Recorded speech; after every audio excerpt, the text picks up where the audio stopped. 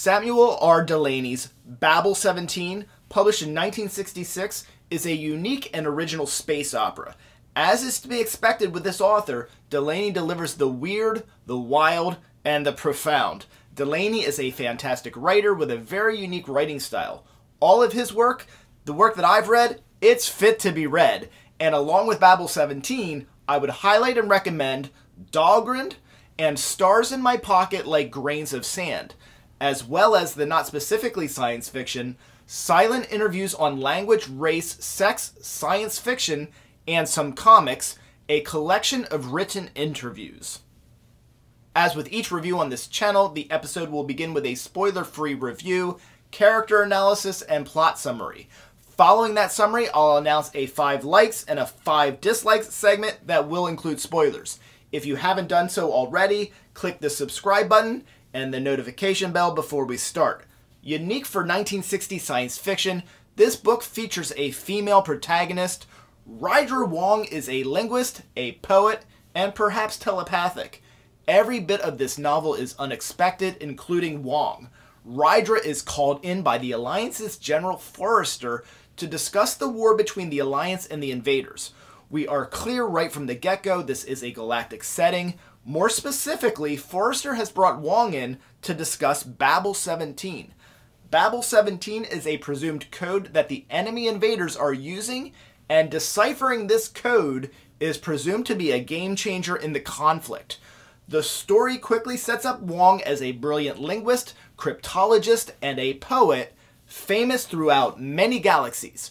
Her celebrity certainly is a currency in this universe. It's revealed early on that she has an ability that at least resembles telepathy as she interprets Forrester's inner thoughts that includes his immediate attraction to her. He thought I didn't understand. He thought nothing had been communicated. All the misunderstandings that tie the world up and keep people apart were quivering before me at once waiting for me to entangle them. The invaders are perplexing the Alliance with surprise attacks, espionage, and sabotage. The military, having picked up on chatter prior to each incident of sabotage, are certain that unlocking the code to Babel 17 can change the tide of the conflict. Rydra discovers quickly and informs the general that Babel 17 is far more than a code. It's an entire language. Here's our first and primary dive into the unusual.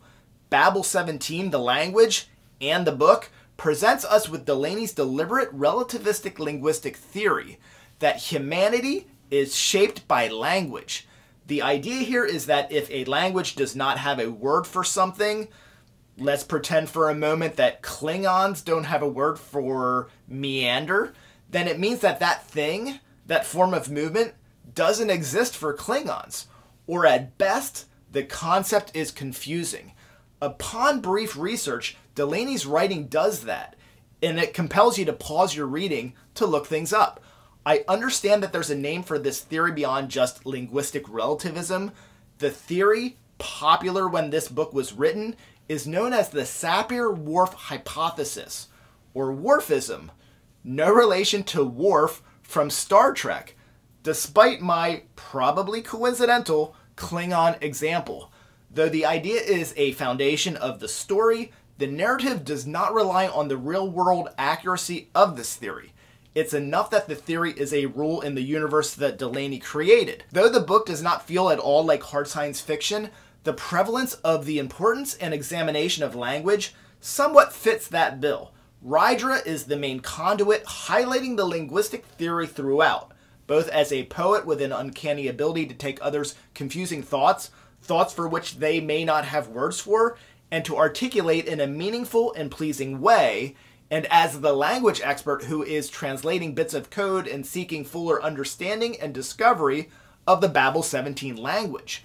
Mastering this language cannot be overstated relevant to the strategic advantage that it could lend to Rydra and thus the Alliance. It maybe also has some Trojan horse side effects and is of course not treated lightly. The language is clearly considered a weapon.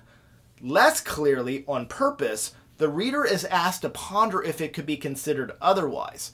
While up to this point, the background that I'm sharing is a good starting off point and enjoyable and enlightening for the things Delany gets the reader to think about, The real joy in this classic are the characters, the world building, and the adventures. Avoiding spoilers, I'll limit the world building and adventures descriptions to share simply that Rydra, also a starship captain, yes, this is a very cool, complex, dynamic, and all around badass protagonist, is given a starship for her quest and flexibility to recruit a crew and track down the invader's next point of attack. Her adventures take her to a number of exotic locations around the universe and includes space skirmishes. I'm not saying that you'll get the same vibes that I got, but mine included at times Neuromancer, The Stars My Destination, Shards of Earth, and Dune vibes. The people she meets are eccentric or unusual, and not always who they seem to be. Descriptions of these places, or at least the atmosphere around them, are vivid. While there is no one like Rydra Wong in anything I've read, a number of other characters shine as well. Rydra's first targeted recruit is Brass. She needs to attend a non-typical wrestling match to assess Brass as a potential pilot. Apparently his proficiency in this grappling duel inside a globe against a giant silver dragon being, also a pilot, is relevant to the demands of piloting a starship. Apparently it's also proper form for spectators to enter the arena nude or at least with minimal clothing, lest you be impolite. Most unique about Brass are his features. 10 foot tall, sporting a mane, I assume similar to a lion but sheared, saber teeth, paws, and a barbed tail. Much of the cosmetics here are surgical enhancements. Among the other characters filling out the crew, all necessary include the requisite three navigators, Navigator 1, 2, and 3, they are a threesome or a triple in their navigation roles, but also, as is necessitated by their tasks, somehow in their romantic, sexual, and psychological entanglements. One of the navigators is actually discorporate, dead or sort of dead, a virtual individual, and speaks Swahili, which the other two do not. Yes, linguistic considerations and communication are prevalent throughout all parts of this story. The crew also includes nose, eye, and ear. And no, I'm not going to explain that. They are also dead or discorporate, and they act as the ship's sensors. Then there are the children. The children are an integral part of the crew. They are managed by the Slug. The final stage of Rydra's recruiting the crew relies on the approval of the surprisingly, seemingly bland customs agent, Daniel Appleby. Imagine Daniel's culture shock as he's introduced to these fantastical characters and he has to clear them for the mission.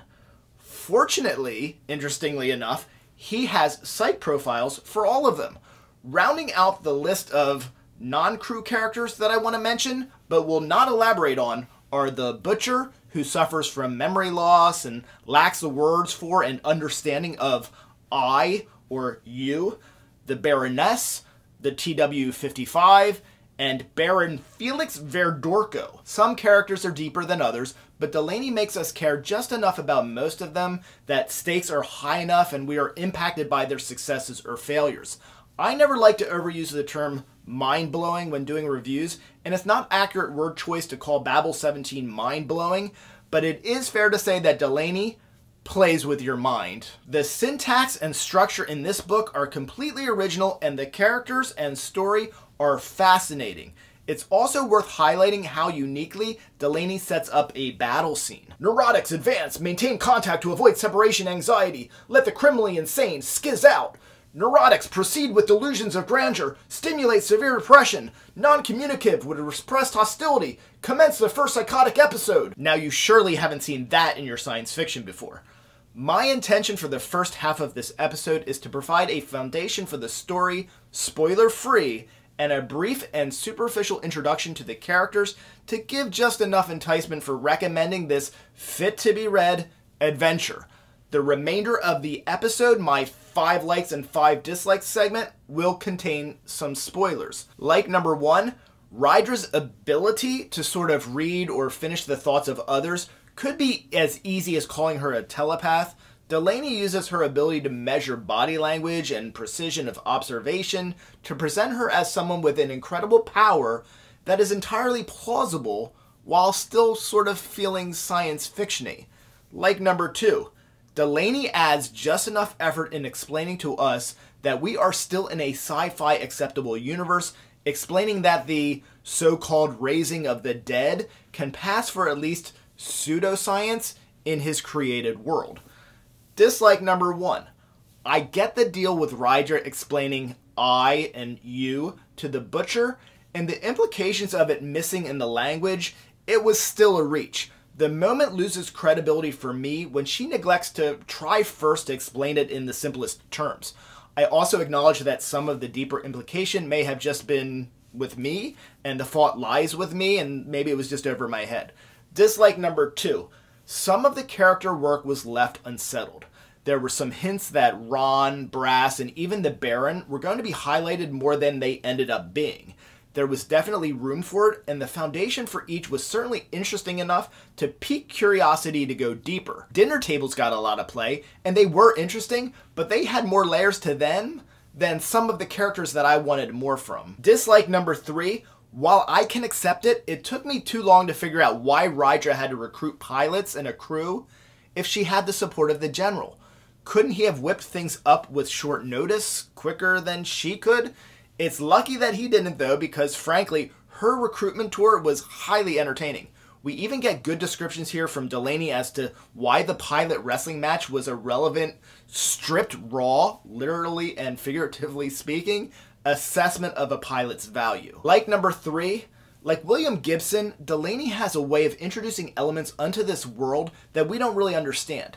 Where, for me, he exceeds Gibson in this regard is that the unknown and unusual is a bit more comfortable and relatable. It has to do, not surprisingly, with a mastery of language. I don't understand exactly why the mystical pickpocket discorporate madam is with the customs agent or what's the deal with her exactly and what his full purpose and responsibility are exactly, but I kind of do. I like being off balance without being lost. Another example is how interesting the feel of Rydra's ship is, with very few references and descriptions, and seeing wild things like the Animalian pilot, two boys, the slug, ear, nose, and eye, the undead navigator. Delany again gives us only enough and just enough to get the ambiance and the wonder of this cool science fiction setting. But he never gives us more understanding than is called for. This just may be the craziest ship crew ever. Dislike number four. That's right, you do have interstellar captain's papers. Thanks, Delany, for letting the reader know that she's also a captain. Real subtle. This was odd, really odd, non subtle dialogue here. So be it.